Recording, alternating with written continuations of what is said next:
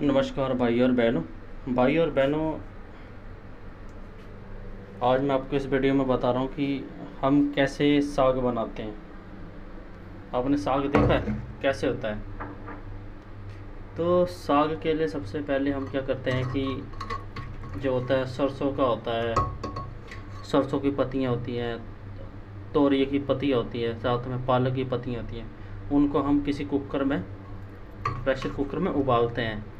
और फिर क्या करते हैं? उबालने के बाद इनको सात, आठ सीटी और इनमें एक अगर आप थोड़ा दो या तीन बंदों के लिए, आदमी के लिए बना रहे हैं तो उसके लिए क्या करते हैं? उसके लिए उसके अंदर एक गिलास पानी का डाल देते हैं और उसको आठ, नौ सीटियाँ लगाते हैं। आठ, नौ सीटी लगाने के बाद आप देखोगे कि आपका जो साग है ना, ऐसा हो जाएगा।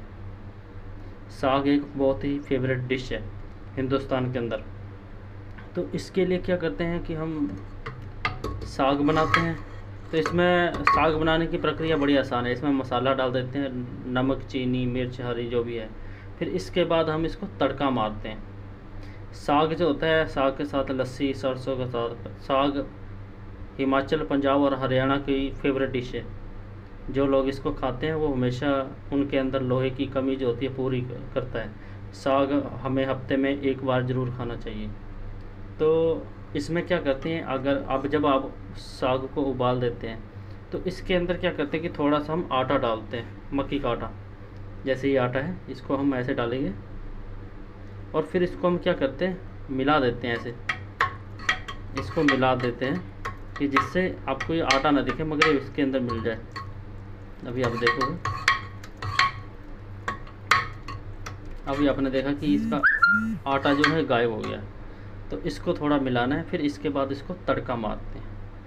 तो साग को बनाने की विधि होती है, हम हरी पत्तियों को, जंगल में हरी पत्तियाँ होती हैं, तोरिया का होता है, सरसों होता है, और चरेड़ी होती है। इनका हम पालक होता है, इन सभी का मिश्रण को हम पानी में उबालते हैं, धोकर, और फिर उसको, उसके अंदर ज़्यादा पानी नहीं डालते, एक ही गिलास डालते हैं, साथ में। उसके बाद हम इसको जब हो जाता है तो उसको फिर हम तड़का मारते हैं। तड़के से ही इसका टेस्ट और तेज हो जाता है। तो अभी आप वेट करेंगे तो मैं आपको अभी तड़के की विधि बताते हैं, हम क्या क्या करते हैं और कैसे बनाते हैं। जी हाँ आप आज इस इस वीडियो में देख रहे हैं कि हम सरसों का साग कैसे बनाते हैं और उसको तड़का कैसे मारते हैं। तो सबसे पहले हमने सरसों का तेल इसमें डालना है, मात्रा के हिसाब से। एस्टिमेट है तो आप इतना डाल सकते हो, जिस हिसाब से आपका साग है।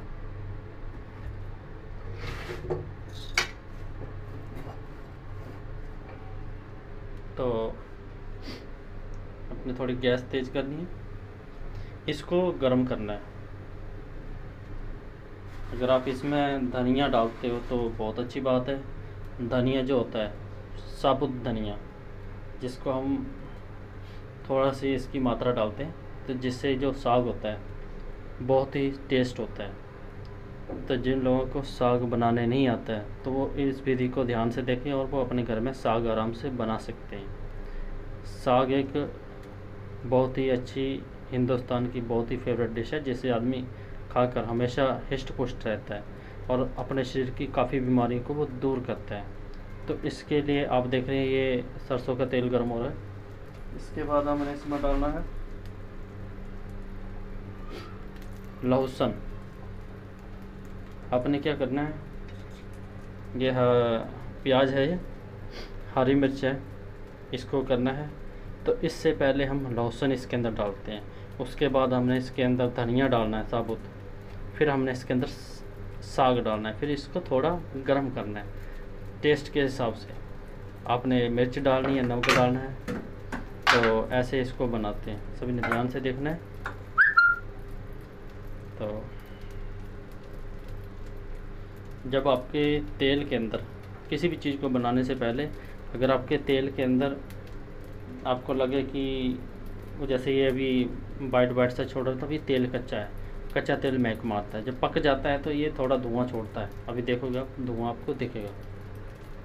तो आज आप इस वीडियो में सीख रहे हैं कि हम सरसों के साग को कैसे बनाते हैं और उसको तड़का कैसे मारते हैं। जिससे आप भी आसानी से इस वीडियो को देखकर इसको बना सकते हैं।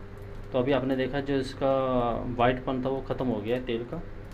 तेल हमारा गर्म हो गया है। अगर आप इसको चेक करना चाहते हो तो इसमें एक लहसुन का पीस डाल सकते हैं। इसका अर्थ है कि तेल हमारा गर्म हो गया है। इसके बाद आपने इसको लहसुन को डालना है। और लहसुन जब तक पीला नहीं होता तब तक आपने इसको इसके अंदर कुछ नहीं डालना है। उसके बाद आपने ये धनिया डालना है। इसको कहते हैं धनिया। ये साबुत धनिया होता है। इसको आप थोड़ा उसमें कर सकते हैं अभी देखा आपने ये पीला फिर गया, इसके बाद धनिया डाल दिया। तो उसके बाद आपने क्या करना है? इसके अंदर डालना है और प्याज है, हरी मिर्च डालनी है। तो आज आप इस वीडियो में सीख रहे हैं कि हम साग कैसे बनाते हैं और कैसे इसको तड़का मारते हैं। इसके अब इसमें डाल दें। थोड़ी गैस कम करनी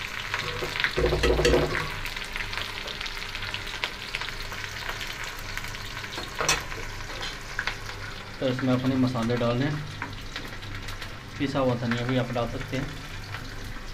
ये थोड़ा सा मिर्च है, लाल मिर्च ये भी डाल सकते हैं। और नमक हमने ऑलरेडी इसमें डाल रखा है। और ये हल्दी तो हल्दी भी आप डाल सकते हैं।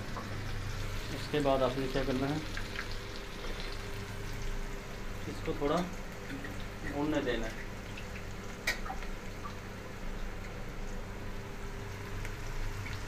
तो आप इस वीडियो में सीख रहे हैं कि हम साग को कैसे तड़का मारते हैं तो कभी ध्यान से देखेंगे। ये आपका साग बन रहा है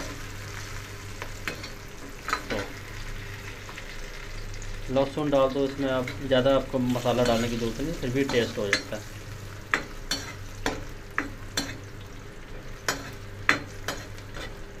हमारा तो साग हर हफ़्ते में खाते हैं। यहाँ तो लोगों को शहरों में साग मिलता नहीं है, जिससे उनके लिए प्रॉब्लम होती है।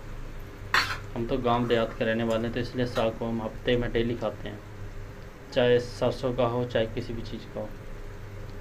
ये और पत्तियों का भी बनता है, पेड़ों की पत्तियों के अलग अलग होते हैं, जैसे जिसका ये यूज़ किया जाता है।